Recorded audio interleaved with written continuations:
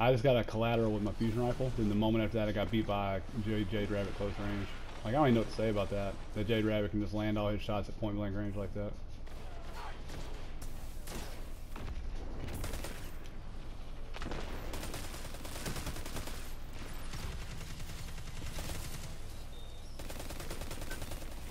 Nice.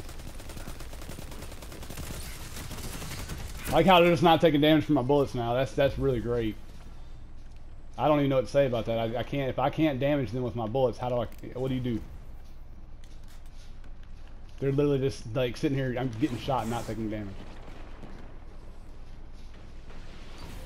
Fucking stupid ass game. Yeah, I've been doing really good with fusion rifles. I just there's some things about this game where it's like, bro, I, I'm shooting him before he even shoots me. Yeah, his gun out damages mine. He beats me, and it's like, no, okay, that's because he had a teammate there shooting me too.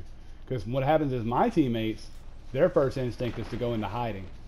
So I'm the only one fighting the enemy. Then after I weaken them, then my teammates step out to finish them off. And that's how this game is. That's how people play this game.